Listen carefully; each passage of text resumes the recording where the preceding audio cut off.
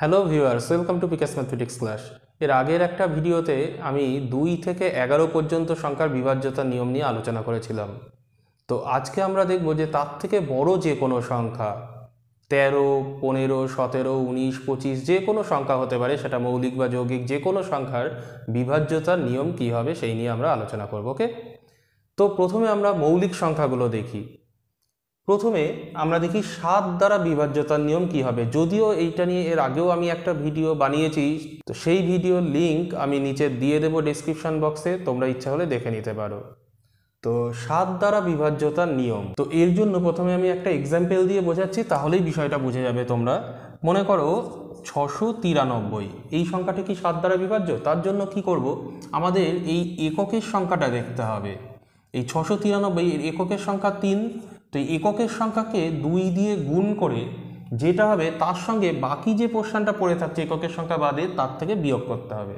তাহলে এটাকে তিন দিয়ে গুণ করলে যেটা আসলো তিন দুগুণ ছয়, এবার এই ছয়কে বাকি যে পোর্শনটা পড়ে থাকছে সিক্সটি নাইন তার থেকে বিয়োগ। তাহলে এটার থেকে বিয়োগ করলে কত হলো? তেষট্টি। এবার এই তেষট্টি এটা যদি সাত দ্বারা বিভাজ্য হয়, তাহলে এই পুরো সংখ্যাটিও সাত দ্বারা বিভাজ্য হবে। এবার আমরা জানি তেষট্টি সাত দ্বারা বিভাজ্য, সাত নাম তেষট্টি। তাহলে এইটা যেহেতু সাত দ্বারা বিভাজ্য, তাহলে এই যে ছশো তিরানব্বই, এটাও কিন্তু সাত দ্বারা বিভাজ্য। চলো এবার একটা বড় সংখ্যা নিয়ে ট্রাই করা যাক। মনে করো বাষট্টি হাজার সাতশো কুড়ি। ওকে এইটা দেখি সাত দ্বারা বিভাজ্য কিনা। তার জন্য কি করব?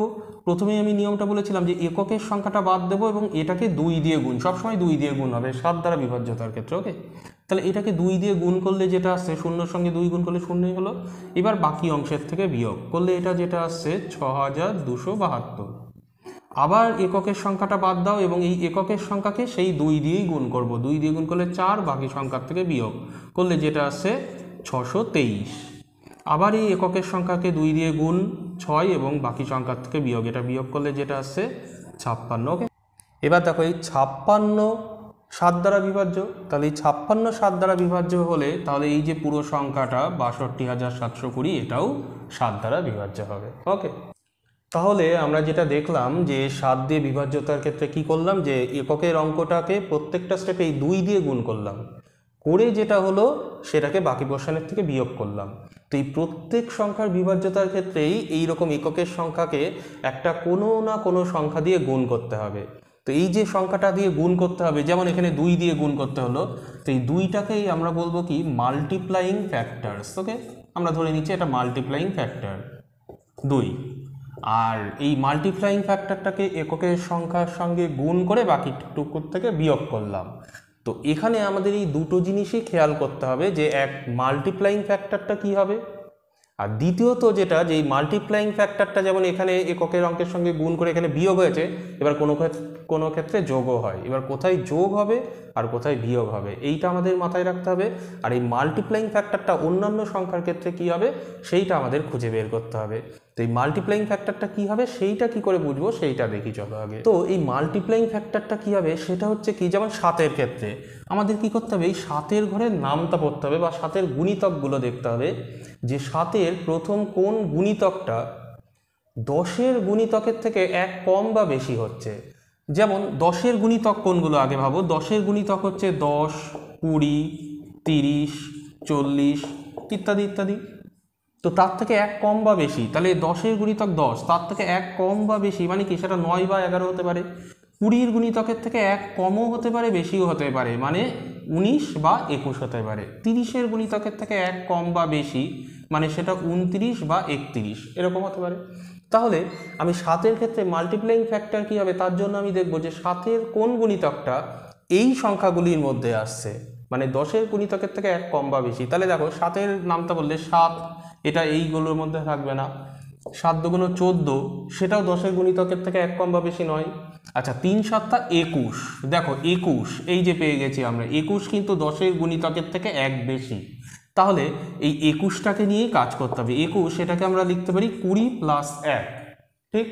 তাহলে এই যে কুড়ির দুই, এইটাই হয়ে যাবে মাল্টিপ্লাইং ফ্যাক্টর আর এই যে কুড়ি প্লাস ওয়ান তো এইটাকে প্লাস আকারে যদি লেখা যায়, তাহলে সেক্ষেত্রে আমাদের ওখানে যেটা করতে হবে, ওই যে মাল্টিপ্লাইং ফ্যাক্টর দিয়ে এককের অঙ্কটাকে গুণ করে বাকিটা থেকে কী করেছিলাম?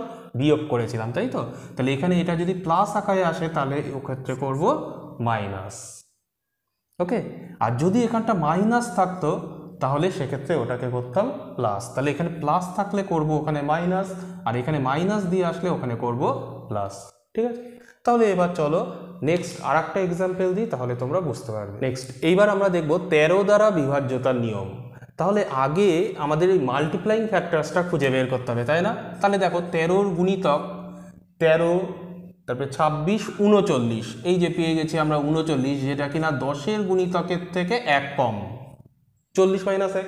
তাহলে এখানে এই যে তেরোর ক্ষেত্রে মাল্টিপ্লাইং ফ্যাক্টরটা আসবে ফোর আর এখানে যেহেতু এটা মাইনাস আকারে লেখা হয়েছে, তাহলে কি করব? এই মাল্টিপ্লাইং ফ্যাক্টরটাকে ইউনিট ডিজিটের সঙ্গে গুণ করে বাকি যে পোর্শনটা থাকবে, তার সঙ্গে কি করব?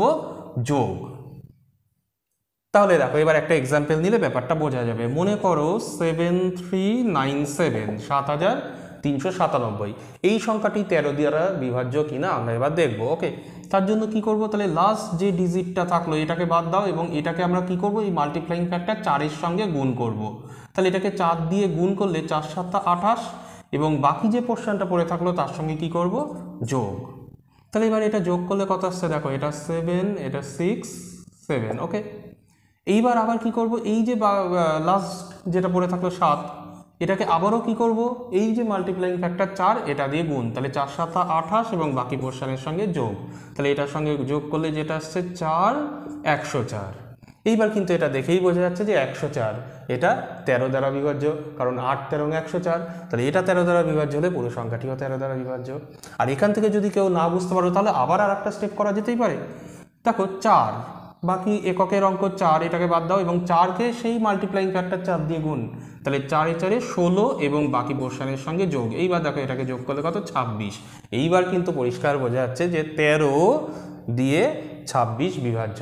আর তেরো দিয়ে ছাব্বিশ বিভাজ্য বলে তেরো দিয়ে এই যে পুরো সংখ্যাটা সাত হাজার তিনশো সাতানব্বই, এটাও বিভাজ্য। যদি এটা তেরোর গুণিতক না হতো, তাহলে কিন্তু এটা বিভাজ্য হতো না তেরো দিয়ে। নেক্সট তাহলে তেরো দিয়ে তো গেল, এবার আমরা দেখি অন্য একটা সংখ্যা, ধরো সতেরো দ্বারা বিভাজ্যতার নিয়ম। তাহলে সতেরো দ্বারা বিভাজ্যতার নিয়ম কি, তাই তো? তা, তার জন্য কি করতে হবে? সতেরোর ক্ষেত্রে মাল্টিপ্লাইং ফ্যাক্টরটা কত হবে? দেখো, সতেরো অক্ষে সতেরো সতেরো গুণ চৌত্রিশ, তিন সতেরো একান্ন, এই পেয়ে গেছি আমরা দশের গুণিতকের থেকে এক বেশি। আমি বারবারই বলছি দশের গুণিতকের থেকে এক বেশি বা কম সেইটা খেয়াল করব।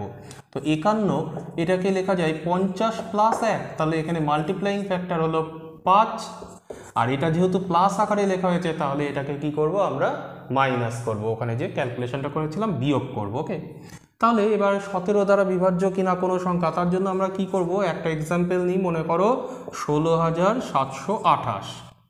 এই সংখ্যাটা আমরা দেখব সতেরো দ্বারা বিভাজ্য কিনা ওকে তো তার জন্য কি করব? জাস্ট ইউনিট ডিজিট যেটা, এককের যে অঙ্ক, এটাকে বাদ দেবো এবং এটাকে কি করব? এই যে মাল্টিপ্লাইং ফ্যাক্টরস হচ্ছে সতেরোর ক্ষেত্রে পাঁচ, এটা মুখস্থ রাখতে হবে ওকে তাহলে এই আট দিয়ে পাঁচকে গুণ করলে পাঁচ আটা চল্লিশ এবং এখানে কি করব? বিয়োগ করব বাকি পোর্শনটার থেকে। তাহলে বিয়োগ করলে আসলো সতেরোশো বত্রিশ। আবার এই দুইটাকে বাদ দেবো। এই দুইয়ের সঙ্গে পাঁচ গুণ করলে পাঁচ দুগুণ দশ, বাকি পোর্শনের থেকে বিয়োগ করলে একশো তিপ্পান্ন। আবার এই তিনের সঙ্গে মাল্টিপ্লাইং ফ্যাক্টর পাঁচ গুণ করলে তিন পাঁচা পনেরো, বিয়োগ করলে জিরো। জিরোটা কিন্তু সতেরো দ্বারা বিভাজ্য। ইনফ্যাক্ট জিরো এটা কিন্তু যে কোনো সংখ্যা দ্বারাই বিভাজ্য। তাহলে জিরো যেহেতু সতেরো দ্বারা বিভাজ্য, তাহলে এই যে সংখ্যাটা আমরা প্রথমে নিয়েছিলাম, ষোলো হাজার সাতশো আঠাশ, এই সংখ্যাটিও কিন্তু সতেরো দ্বারা বিভাজ্য। তাহলে এই নিয়মে যে কোনো মৌলিক সংখ্যা দ্বারা কোনো একটা সংখ্যা বিভাজ্য হচ্ছে কিনা, সেটা কিন্তু আমরা বের করতে পারি। এইবার বিষয় হচ্ছে শুধুমাত্র মৌলিক সংখ্যা নয়, যৌগিক সংখ্যার ক্ষেত্রেও কিন্তু এই নিয়মটা প্রযোজ্য। যদি কিনা ওই যৌগিক সংখ্যাগুলির কোনো না কোনো গুণিতক এইরকম দশের গুণিতকের থেকে এক কম বা বেশি হয়। যেমন কিছু কিছু যৌগিক সংখ্যা আছে, যেমন ধরো সাতাশ, উনচল্লিশ, একুশ, এই ধরনের সংখ্যার ক্ষেত্রে কিন্তু এই নিয়মটা প্রযোজ্য। কিন্তু ধরো বারো, পনেরো, এইগুলোকে এই ক্ষেত্রে প্রযোজ্য হবে না। বারো দ্বারা বিভাজ্যতার নিয়ম বের করতে গেলে, এবার দেখতে হবে বারোর কোনো গুণিতক সেটা কি দশের গুণিতকের থেকে এক কম বা বেশি হবে? হবে না। কেন? কারণ বারোর গুণিতক যেগুলোই নাও না কেন, বারো, চব্বিশ, ছত্রিশ, আটচল্লিশ, এগুলো দেখো সব জোর সংখ্যা আসবে। আর দশের গুণিতকের থেকে এক কম বা বেশি, দশের গুণিতক জোর সংখ্যা, কিন্তু তার থেকে এক কম বা বেশি হলে কোন সংখ্যাগুলো এসেছিল? যেমন ধরো উনিশ বা একুশ, তারপরে উনতিরিশ বা একত্রিশ, এগুলো কিন্তু সব বিজোড় সংখ্যা। তাহলে এই বারোর কোনো গুণিতকই কিন্তু এরকম দশের গুণিতকের থেকে এক কম বা বেশি হবে না। তো কাজে বারো দ্বারা বিভাজ্যতার নিয়ম কিন্তু ওইভাবে আসবে না। ঠিক একই রকমভাবে পনেরো, ষোলো, এই সংখ্যাগুলো দ্বারা বিভাজ্যতার নিয়ম কিন্তু এইভাবে আসবে না। তো এই সংখ্যাগুলো দ্বারা বিভাজ্যতার নিয়ম কী হবে? সেটা আমি পরে আসছি। তার আগে বলি এই ধরনের যৌগিক সংখ্যা যেগুলো কিনা ওই আকারে লেখা যাবে, সেইটার ক্ষেত্রে বিভাজ্যতার নিয়ম জাস্ট একই রকমই দেখো। মনে করো সাতাশ দ্বারা বিভাজ্যতার নিয়ম। তাহলে সাতাশের ক্ষেত্রে কি হবে? সাতাশের গুণিতকগুলো আমাদের দেখতে হবে, সাতাশ, চুয়ান্ন, তারপরে সাতাশকে তিন দিয়ে গুণ করলে একাশি। এই দেখো চলে এসছে, একাশি, এটা দশের গুণিতকের থেকে এক বেশি। আশি প্লাস এক। তাহলে এই যে এই আশির আট, এই আটটাই হবে এখানে মাল্টিপ্লাইং ফ্যাক্টরস আর এখানে যেহেতু যোগ আকারে আছে, তাহলে এই মাল্টিপ্লাইং ফ্যাক্টরস দিয়ে আমাদের ওখানে করতে হবে বিয়োগ। ওকে তাহলে এক্ষেত্রে একটা এক্সাম্পল নেওয়া যাক। তাহলে মনে করো এইটা দু হাজার চারশো তিন। এইটা সাতাশ দ্বারা বিভাজ্য কিনা। তো তার জন্য কি করব? আমরা এই যে ইউনিট ডিজিট নাম্বার যেটা থ্রি এইটার সঙ্গে এই মাল্টিপ্লাইং ফ্যাক্টর আট গুণ করব। তাহলে তিন আটা চব্বিশ এবং গুণ করে বাকি পোর্শনটার থেকে বিয়োগ। তাহলে এটার থেকে বিয়োগ করলে যেটা আসছে, দেখো দুশো ষোলো। এবার দুশো ষোলো, এইটা সাতাশ দ্বারা বিভাজ্য। তাহলে দুশো ষোলো আচ্ছা এটা যদি দেখে বোঝা না যায়, তাহলে এখান থেকে আবার আর একটা স্টেপ করতে পারো। তো এই ছয়টাকে বাদ দিয়ে ছয় আটা আটচল্লিশ। তো একুশ, তার থেকে আবার আটচল্লিশ বিয়োগ। তো এটার থেকে আটচল্লিশ বিয়োগ করলেও কোনো অসুবিধা নেই। এক্ষেত্রে কি হবে? দেখো, এটাকে বিয়োগ করলে আসছে মাইনাস সাতাশ। মাইনাস সাতাশ, এটাও কিন্তু সাতাশ দ্বারা বিভাজ্য। তাহলে এইটা যেহেতু সাতাশ দ্বারা বিভাজ্য, তাহলে এই পুরো সংখ্যাটাও কিন্তু সাতাশ দ্বারা বিভাজ্য। ওকে তো ঠিক এই একই রকমভাবে আর কিছু কিছু সংখ্যার ক্ষেত্রে মাল্টিপ্লাইং ফ্যাক্টরটা কি হবে? এটা আমি বলি, ধরো একুশ। একুশের ক্ষেত্রে মাল্টিপ্লাইং ফ্যাক্টর কি হবে? তো একুশ নিজেই তো দশের গুণিতকের থেকে এক বেশি। তাহলে একুশ এটাকে লেখা যায় কুড়ি প্লাস এক। তাহলে এই একুশের ক্ষেত্রে মাল্টিপ্লাইং ফ্যাক্টর কত হবে? দুই, আর এক্ষেত্রে যেটা করতে হবে, বিয়োগ। আচ্ছা মনে করো উনচল্লিশ। উনচল্লিশ, এটাকে লেখা যায় চল্লিশ মাইনাস এক, দশের গুণিতক চল্লিশ মাইনাস এক। তাহলে এক্ষেত্রে মাল্টিপ্লাইং ফ্যাক্টর হচ্ছে চার, আর এটার ক্ষেত্রে যেটা করতে হবে মাল্টিপ্লাইং ফ্যাক্টর দিয়ে এককের সংখ্যাকে গুণ করে যেটা করতে হবে, যোগ। তো এইভাবে তোমরা যদি এবার এটা বুঝে থাকো, তাহলে উনিশ, এই উনিশের ক্ষেত্রে মাল্টিপ্লাইং ফ্যাক্টর কি হবে? আর সেক্ষেত্রে যোগ করতে হবে না, বিয়োগ করতে হবে? এটা আমাকে কমেন্ট করে জানাবে। তো এবার চলো, এবার বাকি যৌগিক সংখ্যাগুলোর ক্ষেত্রে কি হবে? এগুলো আমরা দেখি। তাহলে বাকি যৌগিক সংখ্যা মনে করো যেমন বারো, তাহলে বারো দ্বারা বিভাজ্যতার নিয়মটা কি দেখো? বারো, এটাকে আমরা কি করতে পারি? তিন গুণ চার তাহলে এবার কোনো একটা সংখ্যা বারো দ্বারা বিভাজ্য হতে গেলে সেটাকে কি করতে হবে? তিন দ্বারা এবং চার দ্বারা বিভাজ্য হলে সেটা বারো দ্বারা বিভাজ্য। এবার তিন দ্বারা বিভাজ্যতার নিয়ম আমরা কি জানি? ধরো একশো চুয়াল্লিশ। এইটা বারো দ্বারা বিভাজ্য কিনা? তো তার জন্য আমরা কি দেখব? তিন দ্বারা আর চার দ্বারা বিভাজ্য হবে কিনা সেইটা দেখব। তাহলে তিন দ্বারা বিভাজ্যতার নিয়ম আমরা জানি যে এগুলোকে যোগ করে সেই যোগফলটা তিন দ্বারা ভাগ করে মিললেই পুরো সংখ্যাটা তিন দ্বারা বিভাজ্য। তাহলে এটা যেহেতু যোগ করে নয় হলো এটা তিন দ্বারা বিভাজ্য, তার মানে এই সংখ্যাটা তিন দ্বারা বিভাজ্য। এবার দেখব চার দ্বারা বিভাজ্য কিনা। চার দ্বারা বিভাজ্যতার নিয়মটা কি? যে যে কোনো সংখ্যা লাস্ট দুটো ডিজিট দেখতে হবে। তো এই যে সংখ্যাটা, এই লাস্ট দুটো ডিজিট কত? চুয়াল্লিশ। তো এই লাস্ট দুটো ডিজিট যদি চার দ্বারা বিভাজ্য হয়, তাহলে পুরো সংখ্যাটিও চার দ্বারা বিভাজ্য। তাহলে চুয়াল্লিশ, এইটা কিন্তু দেখো চার দ্বারা বিভাজ্য। তাই তো? তাহলে এটা চার দ্বারা বিভাজ্য হলে এই পুরো সংখ্যাটিও চার দ্বারা বিভাজ্য। তাহলে এটা তিন দ্বারা বিভাজ্য হলো চার দ্বারা বিভাজ্য হলো মানে পুরো বারো দ্বারা বিভাজ্য। এইবার ঠিক একই রকমভাবে চোদ্দ দ্বারা বিভাজ্যতার নিয়ম। তাহলে চোদ্দ, এটাকে আমরা লিখি সাত গুণ দুই। তাহলে এবার কোনো সংখ্যা সাত দ্বারা বিভাজ্য হলে, সাত দ্বারা বিভাজ্যতার নিয়ম আজকে আমরা প্রথমেই দেখেছি, আর দুই দ্বারা বিভাজ্য হলে মানে সেটা যদি জোর সংখ্যা হয়, তাহলে পুরো সংখ্যাটাও চোদ্দ দ্বারা বিভাজ্য। ঠিক একই রকমভাবে পনেরো। পনেরো মানে কি? তিন গুণ পাঁচ। তাহলে কোনো সংখ্যা যদি তিন দ্বারা বিভাজ্য হয়, আর পাঁচ দ্বারা বিভাজ্য হয় মানে সেই সংখ্যার শেষে শূন্য বা পাঁচ থাকে। তাহলে সেই সংখ্যাটি পনেরো দ্বারা বিভাজ্য।